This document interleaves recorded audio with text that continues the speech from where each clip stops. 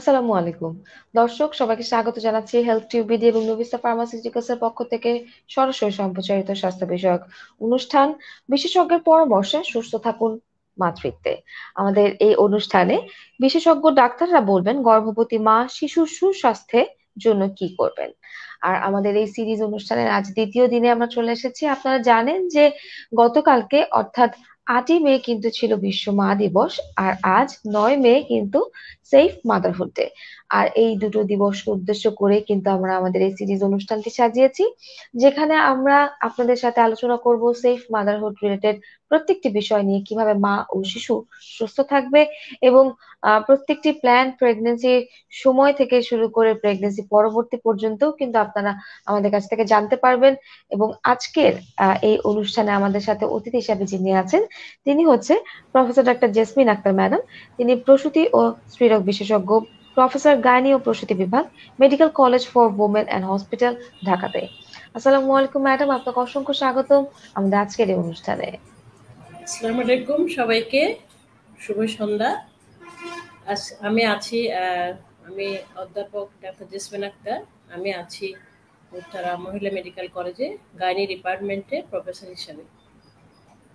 অনেক ধন্যবাদ ম্যাডাম আপনার ব্যস্ত সময় থেকে আমাদের সাথে যুক্ত হবার জন্য।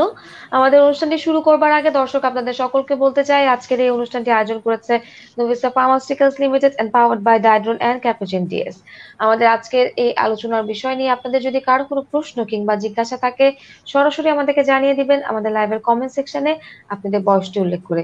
পাশাপাশি যদি কারও প্রেগনেন্সির সময়টাতে কোনো প্রশ্ন থাকে, তাহলে কত সপ্তাহ প্রেগনেন্সিতে আছেন সেটিও জানাবেন। আমাদের আলোচনাটি শুরু করছি। ম্যাডাম, প্রথমে আপনার কাছে জানতে চাইছি যে বিশ্ব মা দিবস সম্পর্কে আমাদের অনুষ্ঠানের শুরুতেই যদি আপনি কিছু বলতেন, আপনার নিজের মা সম্পর্কে এবং এ যাবৎ আপনার হাতে যতজন মা হয়েছে তাদের উদ্দেশ্যে। মা মা একটি ছোট্ট একটি শব্দ, কিন্তু এর গভীরতা সাগরের থেকেও বেশি, সমুদ্রের থেকে বেশি। মা মা একটি মধুর শব্দ, খুবই মধুরতম শব্দ, এবং এ মা যে আস্তে আস্তে মায়ের গর্বে ভ্রূণটা বড় হয়, আস্তে আস্তে বাচ্চাটা বড় হয়, শিশুটা মানুষে পরিণত হয়, এবং এই শিশুর যে গর্ভ অবস্থায় তার যে বারন্ত যে বেড়ে ওঠার সব কিছু মায়ের উপর নির্ভর করে, এবং জন্মের পরেও মা এই বাচ্চাটাকে অনেক যত্ন করে, অনেক কষ্টে লালন পালন করে। তার হাতে প্রথম খাওয়া দাওয়া থেকে শুরু করে লেখাপড়া শুরু করা সব কিছু মায়ের হাতে।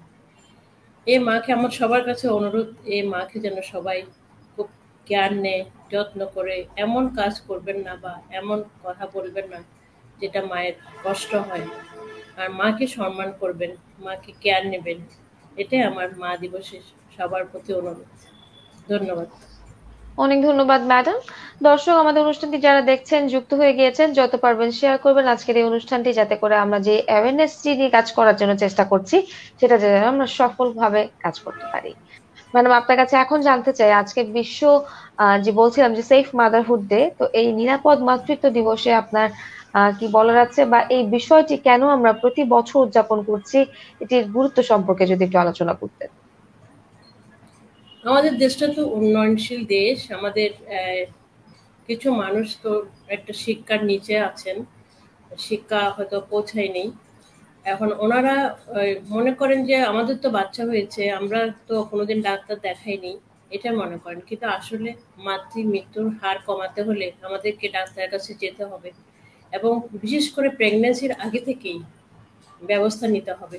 যেমন ফলিক অ্যাসিড নামের একটা ওষুধ আছে যেটা প্রেগনেন্সির তিন মাস আগে থেকেই খেতে হয়। তিন মাস ফলিক অ্যাসিড খেয়ে তারপর যদি বাচ্চা নেই, সে বাচ্চার অনেকখানি জন্ম ত্রুটি হয় না। তো এই ব্যাপারটা অনেকে জানেন না। এখন যেটা আমাদের যে শিক্ষাটা সবার কাছে পৌঁছে দিতে হবে যে, বাচ্চা হওয়ার আগে থেকেই ডাক্তারের কাছে যেতে হবে। এবং এরপরে, যেটা হলো প্রি নেটাল কেয়ার আমরা বলি যে প্রি প্রেগনেন্সি বা কাউন্সিলিং যেটা বলি যে কোনো মায়ের কোনো অসুখ বিসুখ আছে কিনা, যেমন বিশেষ করে ডায়াবেটিস। ডায়াবেটিস থাকলে ডায়াবেটিস অবস্থা যদি কারও সন্তান গর্ভে আসে, তাদের কিন্তু বিকলাঙ্গ মানে জন্মগত ত্রুটি হওয়ার সম্ভাবনা অনেকখানি বেশি। সেক্ষেত্রে ডায়াবেটিসটা কন্ট্রোল করে তারপরে প্রেগনেন্সি নিতে হবে, বাচ্চা নিতে হবে। তখন সেটা অবশ্যই ইনসুলিনের মাধ্যমে। যে মুখে খাওয়ার যেটা অ্যান্টি ডায়াবেটিক ড্রাগগুলো এগুলো প্রেগনেন্সিতে নেওয়া যায় না। সেজন্য আমাদের ইনসুলিন দিয়ে কন্ট্রোল করে ডায়াবেটিস তারপরে গর্ভাবস্থায় যে ইয়েটা বাচ্চাটাকে নিতে হবে, না হলে জন্মগত ত্রুটি হতে পারে। এছাড়াও আরও আরও অনেক কিছু আছে, যেটা হলো মায়ের যদি এন্ডিমিয়া থাকে সেই অবস্থায় বাচ্চা নেওয়া যাবে না। হাইপারটেনশন থাকলে সেই ব্লাড প্রেশার যদি বেশি থাকে সেক্ষেত্রে হাইপারটেনশনের সব ওষুধ কিন্তু প্রেগনেন্সি অবস্থায় খাওয়া যায় না। বিশেষ করে আমরা স্পেশাল কিছু ওষুধ খাওয়াই প্রেগনেন্সি অবস্থায়। ওই ওষুধগুলো চেঞ্জ করে ওগুলো আরম্ভ করতে হবে। এবং সেক্ষেত্রে প্রেগনেন্সির আগেই এগুলো শুরু করতে হবে। নাহলে এগুলো বাচ্চার উপর এফেক্ট করবে তাছাড়া প্রেগনেন্সির আগে মায়ের স্বাস্থ্যটা খেয়াল করতে হবে যে ওজন কম কিনা নিউট্রিশন কেমন সব কিছু চিন্তা করে তারপরে বাচ্চা নিতে হবে। এবং প্রেগনেন্সি নেওয়ার পরে চেক আপ যে প্রেগনেন্সি চেক আপটা সেটাকে আমরা তিন ভাগে ভাগ করি। সেটা হলো প্রথম তিন মাসকে আমরা ফার্স্ট ট্রাইমাস্টার পরের তিন মাস সেকেন্ড ট্রাইমাস্টার তারপরে তিন মাস থার্ড ট্রাইমাস্টার এই তিনটা ভাগে ভাগ করি, তো প্রথম ভাগটাতে মায়ের অনেক কষ্ট থাকে। শরীরে জ্বালা পড়া থাকে, বমি বমি ভাব থাকে, বমি হয়, অনেক সময় অনেক মায়ের বিছনায় পড়ে যায়। সেই ক্ষেত্রে স্পেশাল কেয়ার নিতে হবে এবং ডাক্তারের শরণাপন্ন হতে হবে। এবং এই প্রথম তিন মাসে এটা আলট্রাসোনোগ্রাম করতে হয়। আমাদের কাছে যে পেশেন্টরা আসে, তারা মনে করেন যে ছেলে মেয়ে দেখার জন্য এক সময় আলট্রাসোনোগ্রাম করলে হবে।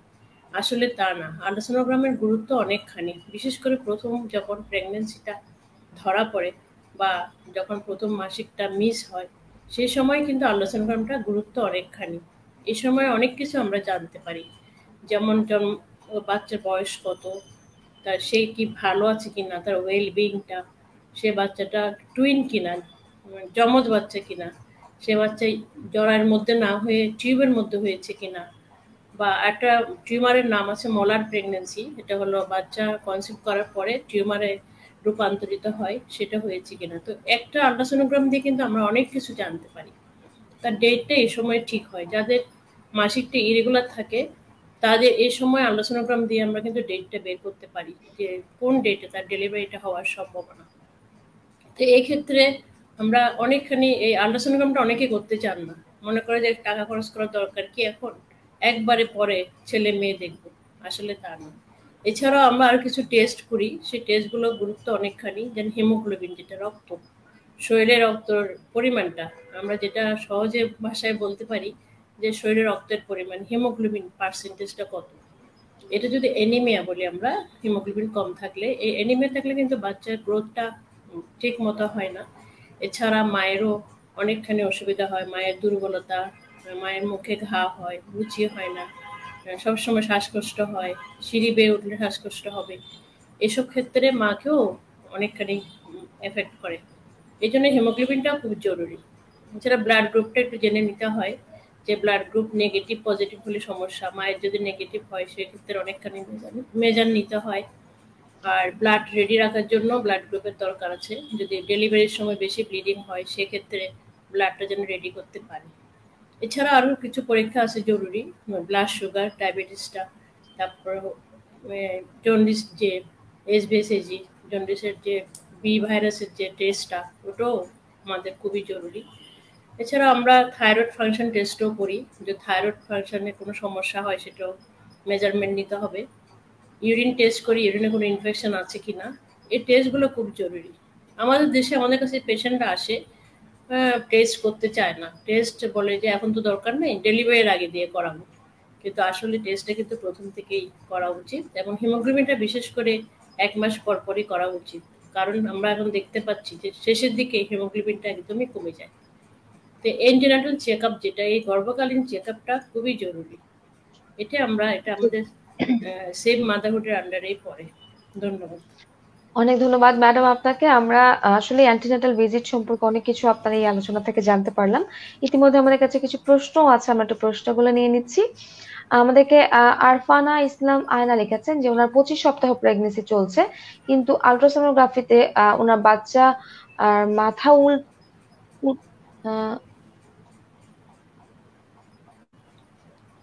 আচ্ছা ওনার বাচ্চার মাথা উঠা আছে সম্ভবত উনি বলেছে এবং পরে কি নিচে আর বাচ্চা মুখ নিচে নেমে যেতে পারে কিনা এই বিষয়ে আপনার কাছে জানতে চাইছে এবং এতে কোনো কোনো সমস্যা হবে কিনা? আমার মনে হচ্ছে ম্যাডাম উল্টা হবে। বাচ্চার পজিশনটা ওরকম আছে হ্যাঁ। সেটাই উনি জানতে চাইছে। তো ওনার জন্য কি সমাধান আছে? ধন্যবাদ আপনার সুন্দর প্রশ্নের জন্য। এটা অনেকে আসলে প্রথম দিকে অনেক সময় ব্রিজ বলে আমরা উল্টা পজিশনে থাকলে ব্রিজ প্রেজেন্টেশন নর্মালি মাথাটা নিচের দিকে থাকে, কিন্তু যখন বাটকটা নিচের দিকে থাকে, তখন সেটাকে আমরা ব্রিজ প্রেজেন্টেশন বলি। তো এটা সাধারণত আসলে আল্ট্রাসোনোগ্রাফি ডাক্তাররা না বললে ভালো যে আপনার বাচ্চাটা উল্টা আছে বলার দরকার নেই। কারণ বেশিরভাগ ক্ষেত্রে এটা টার্মে গিয়ে মানে একদম ডেলিভারির কাছাকাছি গিয়ে এটা ঠিক হয়ে যায়, বেশিরভাগ। আর এখন যে উল্টা আছে, এতে কোনো সমস্যা নেই, এতে কোনো সমস্যা হবে না। ধন্যবাদ। ধন্যবাদ ম্যাডাম এরপর আমাদেরকে দীপা লিখেছেন যে ওনার চৌত্রিশ সপ্তাহ প্রেগনেন্সি চলছে। কয়দিন ধরে রাতে ঘুমাতে অনেক কষ্ট হচ্ছে, ঘুম আসছে না। হাত পা শরীর জ্বালাপোড়া করছে, গরম লাগছে, দিনে ঘুম আসে, কিন্তু আবার দিনের বেলা সারাটা সময় ওনার ঝিমানি হচ্ছে। ওনার হাত পায়ের তলা সবসময় খুবই গরম থাকছে নিজেরই ফিল করছে সেটা উনি নিজেই ফিল করছেন। এগুলো কেন হচ্ছে? এগুলো কি স্বাভাবিক কিনা প্রেগনেন্সির এই সময়টাতে? এবং এর প্রতিকার কি আছে আপনার কাছে? পরামর্শ চাইছে, পাশাপাশি উনি জানতে চাইছে যে ডেলিভারির জন্য কীভাবে প্রস্তুতি নিতে পারবে এবং শুধু হাঁটলেই কি ডেলিভারির জন্য অনেকটাই প্রস্তুত হওয়া সম্ভব কিনা?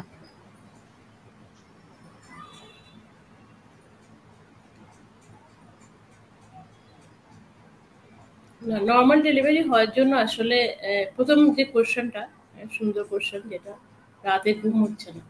অনেক প্রেগনেন্ট মারাই এই ব্যাপারটা হয় এরকম সাফার করেন যে ঘুম হয় না, রাতে ইনসোমনিয়া বলি আমরা। এতে অনেক সময় প্রেশার বেশি থাকলেও হতে পারে এই জন্য দেখতে হবে যে প্রেশারটা কেমন।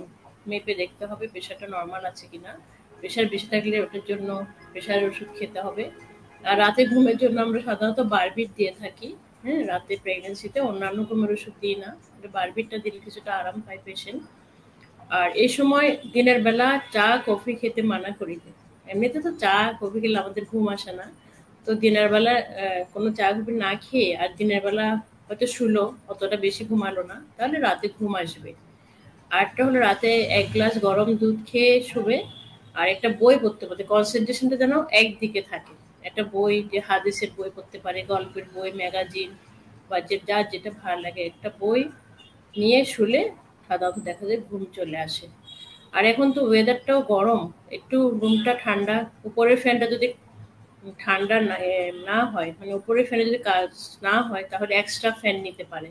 একটা টেবিল ফ্যান পাশে একটা এক্সট্রা ফ্যান নিয়ে ঘুমাতে পারে, গরমের জন্য। ধন্যবাদ। অনেক ধন্যবাদ ম্যাডাম আমাদের কাছে দীপা আরেকটি বিষয় নিয়ে জানতে চেয়েছে যে, যদি প্রেগনেন্সির সময় বিপি লো থাকে, সেই ক্ষেত্রে কি কোনো সমস্যা আছে কিনা বা কি করণীয়?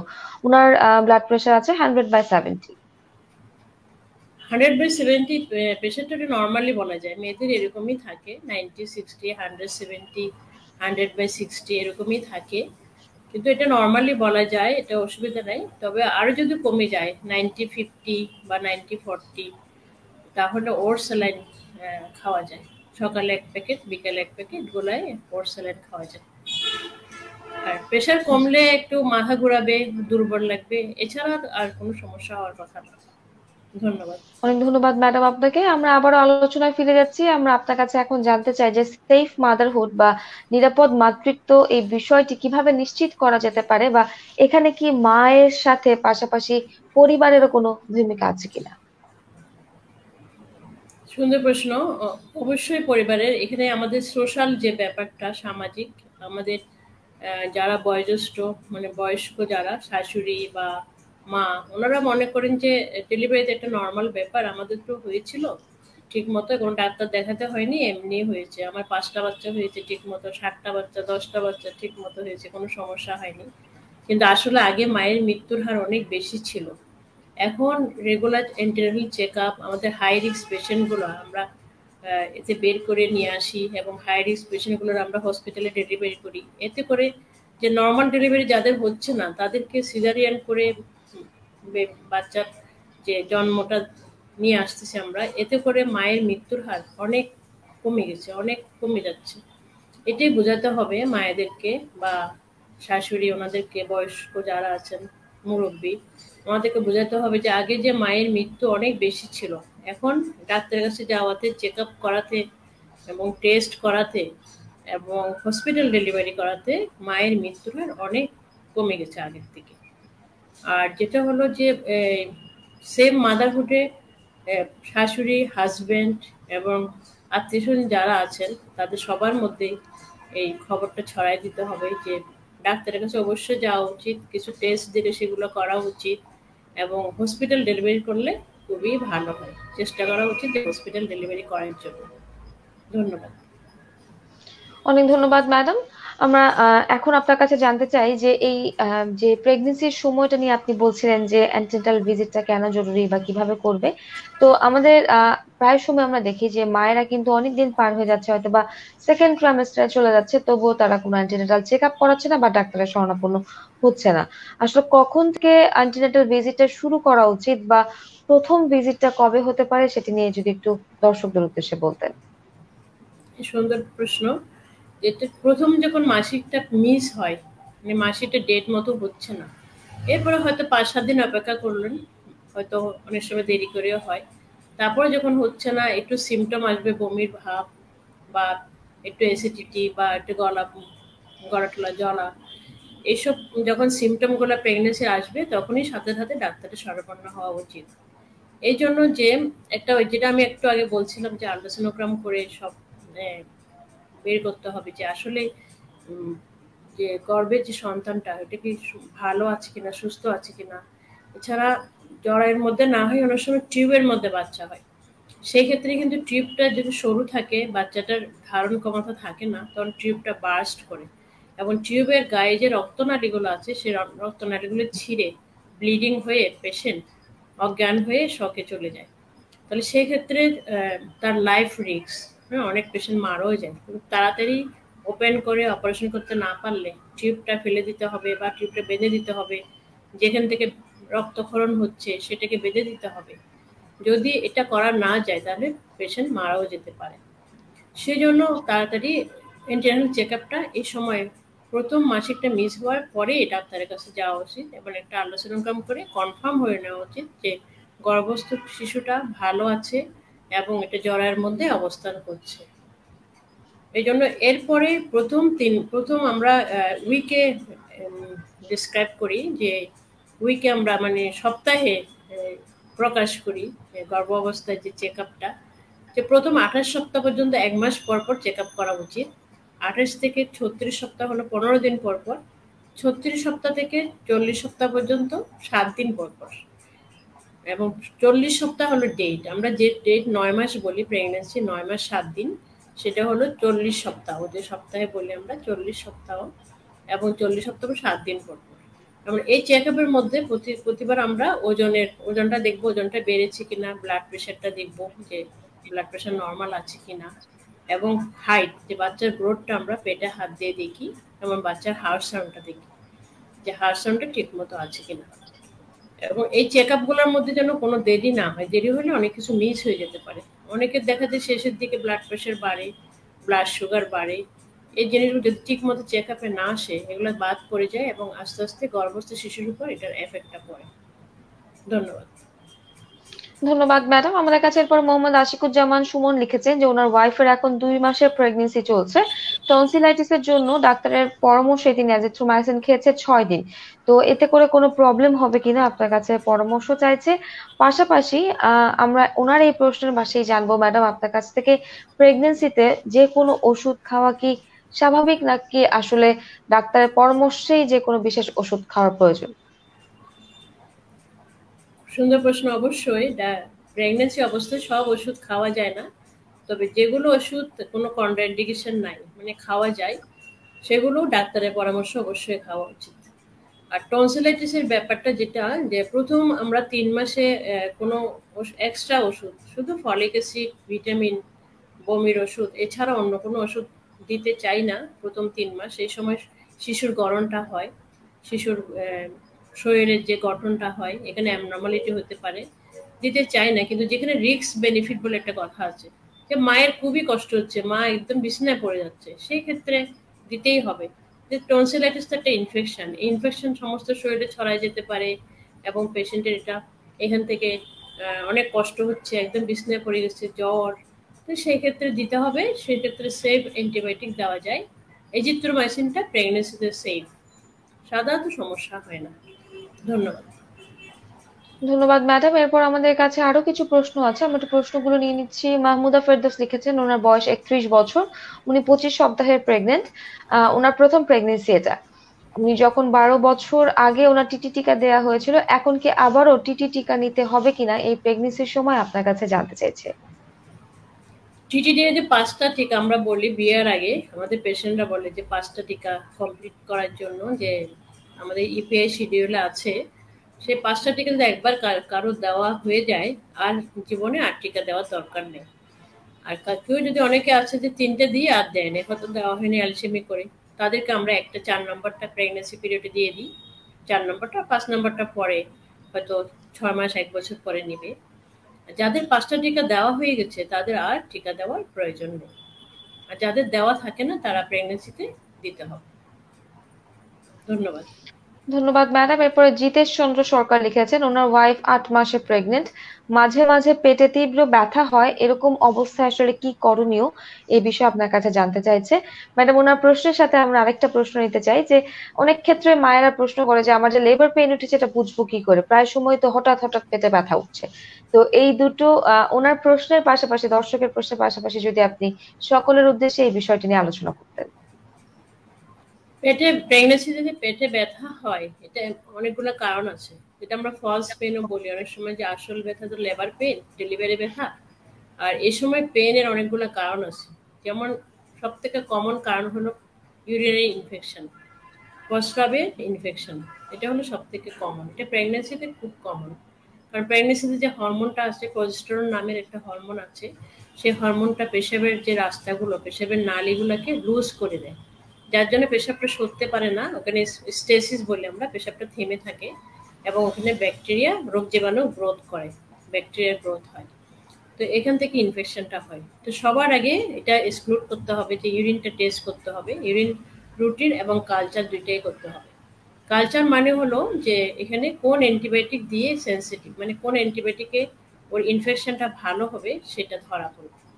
ইউরিন রুটিন আর কালচার করতে হবে ইউটিআই আরেকটা কমন কারণ হলো অ্যাসিডিটি হাইপার অ্যাসিডিটি প্রেগনেন্সিতে অ্যাসিডিটিটা খুব বেশি হয়। ঠিক ওই হরমোন পজিস্টার হরমোনের কারণে এখানে যে খাদ্য নালীটা রিল্যাক্স হয়ে যায়, তখন অ্যাসিডটা অ্যাসিড বার্ন হয় অ্যাসিডটা উপরের দিকে উঠে যায় এবং গ্যাস হয়। আর আমাদের দেশের যে খাদ্য অভ্যাস যেটা, সেটা ভাজা পোড়াটা বেশি খাওয়া হয়, ঝাল ভত্তা ঝাল মশলা বেশি খাওয়া হয়। যার শুটকি, এগুলো ঝাল জিনিস বেশি খাওয়া হয়, যার জন্য অ্যাসিডিটিটা আমাদের দেশে যে মেয়েদের, দেখা যায় প্রেগনেন্সিতে খুব বেশি, প্রত্যেকটা পেশেন্ট অ্যাসিডিটির কমপ্লেন করে। এমন অ্যাসিডিটি থেকেও ব্যথা হতে পারে।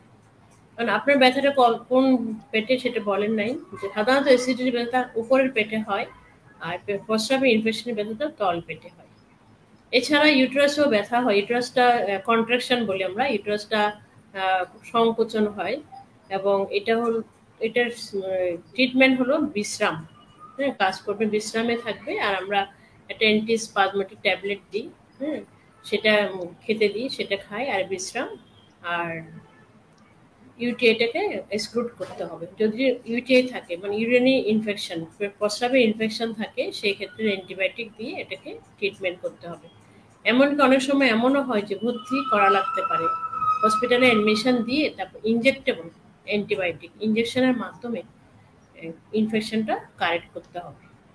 ধন্যবাদ।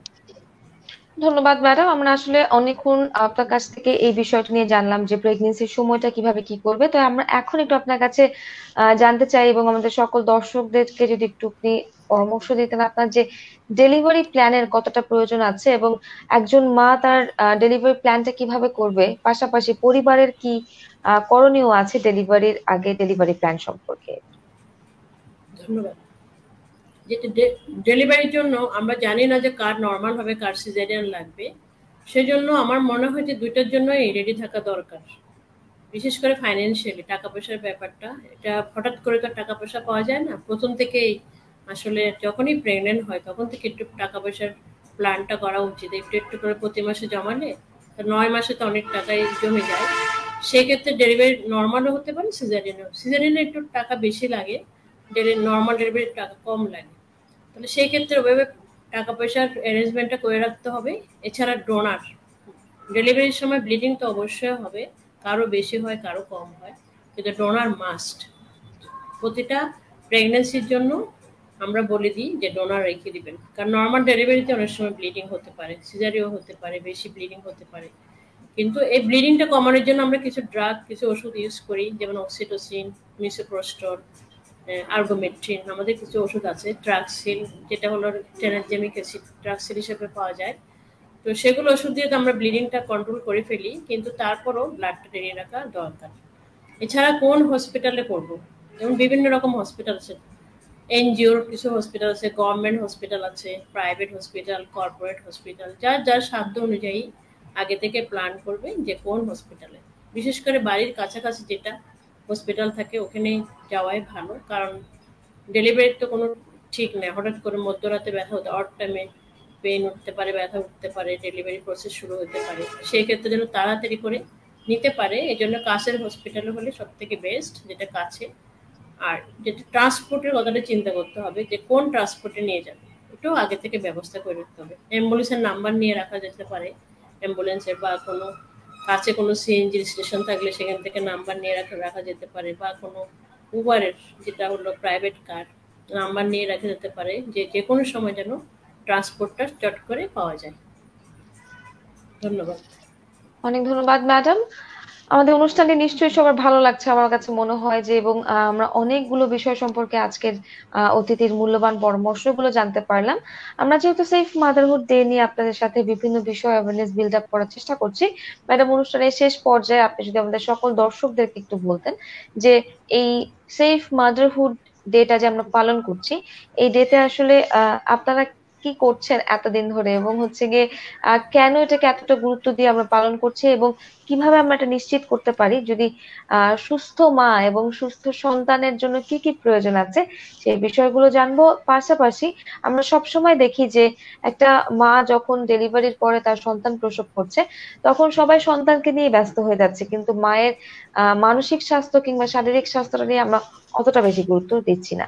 তো কেন সন্তান এবং মা দুজনেরই সুস্বাস্থ্য এবং মানসিক স্বাস্থ্য দুটোই আমাদেরকে কামনা করতে হবে, সেই বিষয় নিয়ে একটু আলোচনা করতে আচ্ছা ধন্যবাদ। সেফ মাদারহুডের মধ্যে আমরা মানে যেটা হলো যে প্রি প্রেগনেন্সি কাউন্সিলিং যেটা বললাম, যে প্রেগনেন্সির আগে থেকে যে প্রিপারেশন নেওয়াটা, সেটা। তারপর হলো ডিউরিং প্রেগনেন্সি প্রেগনেন্সি পিরিয়ডের চেক আপটা প্রেগনেন্সি চেক আপটা এবং ভালো মতো ডেলিভারি হয়। বিশেষ করে যদি হোম ডেলিভারি যারা করেন ক্লিন সবসময় মনে রাখতে হবে যে ক্লিন ডেলিভারি যেন হয়। সব কিছু পরিষ্কার। নাবি কাটা থেকে শুরু করে প্রেগনেন্সি যে ডেলিভারি সব কিছু যেন ক্লিন থাকে। ক্লিন থাকলে ইনফেকশনের চান্সটা কম থাকে। আর ডেলিভারির পরে পোস্টপার্টাম পিরিয়ড বলি আমরা সেটা যেন ব্লিডিং হয় আর ইনফেকশন হয়। দুইটা বেশি ইম্পর্টেন্ট এ সময় ব্লিডিংটা যেন না হয়।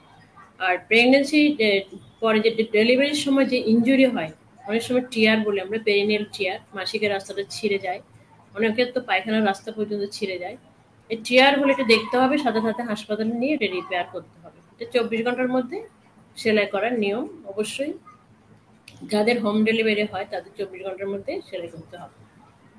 এবং এই যে, এরপরে যে বাচ্চাকে নিয়ে, বাচ্চা যে হলো, যে সুস্থ বাচ্চা হলো, সবার খুব খুশি, কিন্তু মাকে অনেক সময় খেয়াল করা হয় না। মায়ের পুষ্টির দিকটা খেয়াল করতে হবে যে ডেলিভারির সময় ব্লিডিংটা হলো, তার যে কষ্টটা হলো, তার একজোশন হলো, এবং এরপরে যে তার স্বাস্থ্যটা খেয়াল করতে হবে, তার খাওয়া দাওয়াটা খেয়াল করতে হবে। বিশেষ করে তখন ব্রেস্ট ফিডিং এর টাইম এই সময় বুকের দুধটা বাচ্চাকে খাওয়াতে হবে, বুকের দুধ যেন পর্যাপ্ত পরিমাণে পায় সেই সেই জন্য তাকে পুরো নিউট্রিশনটা ভালো মতো পুষ্টিকর খাবার দিতে হবে, যেন সে ব্রেস্ট মিল্কটা পর্যাপ্ত পরিমাণে পায়। আর আমাদের দেশে দেখা যায় যে শুকনা ভাত খাওয়ায়, যে ডেলিভারির পরে কালি জিরের ভর্তা দিয়ে ভাত খাওয়ায়। কোনো কিছু জানে নাট শুকায় যাবে নার শুকনো জিনিস খেলে নার কাঁচা থাকবে, অনেক কিছু মিসবিলিভ কুসংস্কার আছে, যেটার জন্য যে ডেলিভারির পরে কিন্তু মাকে সুষম খাদ্য দিতে হবে, পর্যাপ্ত পরিমাণে পানি খেতে হবে দুধ জাতীয় জিনিস, ঝোল করে মাছ মাছ, মাংস, প্রোটিন ডিম, দুধ এগুলো পর্যাপ্ত পরিমাণে দিতে হবে। তাহলে ওর বুকের দুধটা ঠিক মতো আসবে এবং বাচ্চাকে সে বুকের দুধটা ঠিক মতো খাওয়াতে পারবে। যে বুকের আমরা বলি যে এক্সক্লুসিভ ব্রেস্ট ফিডিং যে প্রথম ছয় মাস যেন অবশ্যই বুকের দুধ খাওয়াবে, অন্য কিছু খাওয়াবে না। মধু বা এগুলো দেওয়া ঠিক না আচ্ছা। অনেকে দেয় মিশ্রির পানি দেয়, মধু দেয় আমাদের দেশে কুসংস্কার আছে, কিন্তু এগুলো দেওয়া ঠিক না। বুকের দুধটা হলো সব থেকে বেস্ট আর প্রথম দিকে যে শাল দুধটা আসে, সেই শাল দুধটা কিন্তু অনেকে ভাবে যে দুধ পাচ্ছে না, কিছু শুধু কষ্ট আসে, কিন্তু এটাই কিন্তু ওর জন্য যথেষ্ট। এটাই এক ফোঁটায় এক চামচের সমান। তো এই যে কলেস্ট্রাম বলি আমরা কষটা এটাই অনেক দরকারি। এবং মাকে কিন্তু তার মানসিক দিকটাও খেয়াল করতে হবে। অনেকে আছে যে মেয়ে হওয়ার পরে মাকে অনেক সময় কেয়ার নেওয়া হয় না। এই আমাদের দেশে সমাজে একটু এই জিনিসটা আছে যে তখন মায়ের মানসিকভাবে মা ভেঙে পড়ে। যে পরপর তিনটা মেয়ে হলো। তিন নম্বর মেয়ের সময় দেখা গেলো কেউ খেয়ালই করছে না, সবাই খুশি তাহলে মায়ের মানসিক স্বাস্থ্যটাও খেয়াল করতে হবে। এনে পিরপেরা সাইকোসিস বলে একটা ব্যাপার আছে, যেটা অনেক সময় হয়। পিটপেরামে তার মনটা খারাপ হয়ে যায়। কেউ একটা কথা বললে সে অনেক সময় মাইন্ড করে, তার মাইন্ডে লাগে। তাহলে এই জিনিসটা মানে মায়ের মানসিক স্বাস্থ্যটাও খেয়াল করতে হবে। এবং মায়ের স্বাস্থ্যের পাশাপাশি তাকে মনের আনন্দটা খেয়াল করতে হবে যেন সে মনে আনন্দ থাকে। ধন্যবাদ। অনেক ধন্যবাদ ম্যাডাম আপনাকে। আজকের এই অনুষ্ঠানে এত চমৎকার কিছু উপদেশ আমাদের দর্শকদেরকে দেওয়ার জন্য নিশ্চয়ই ওনারা অনেক উপকার পেয়েছে আপনার এই পরামর্শ থেকে। ম্যাডাম আপনাকে আবারও ধন্যবাদ জানাচ্ছি হেলথ টিউবিডি এবং নবিস্তা ফার্মাসিউটিক্যালস এর পক্ষ থেকে। আপনাকে এবং নবিস্তা ফার্মাসিউটিক্যালকে অনেক অনেক ধন্যবাদ আমাকে কিছু বলতে দেওয়ার সুযোগ দেওয়ার জন্য। যে আমার কথায় যদি কারও উপকার হয়, আমি খুব খুশি হব এবং খুবই নিজেকে গৌরবান্বিত মনে করব। ধন্যবাদ। আসসালামু আলাইকুম। ধন্যবাদ, ম্যাডাম। আসসালামু আলাইকুম। দর্শক, আমরা অনুষ্ঠানের শেষ পর্যায়ে চলে এসেছি। আপনারা দেখছিলেন আমাদের হেলথ টিভিডি থেকে সরাসরি সম্প্রচারিত, পাশাপাশি নবিসা ফার্মাসিউটিক্যালস থেকেও সরাসরি সম্প্রচারিত ইউটিউব এবং ফেসবুক লাইভ বিশেষজ্ঞের পরামর্শে সুস্থ থাকুন মাতৃত্বে আমাদের বিশেষ আয়োজন, বিশেষজ্ঞ ডাক্তার বলবেন, গর্ভবতী মা শিশু সুস্বাস্থ্যে কি করবেন? আর আজকের এই অনুষ্ঠানে নিশ্চয়ই ভালো লেগে থাকলে আপনারা যত পারবেন শেয়ার করবেন। আগামীকালকে আমরা আবারও হাজির হয়ে যাব আপনাদের সামনে এই বিষয়টি নিয়ে অ্যাওয়ারনেস রিলেটেড প্রোগ্রামের জন্য।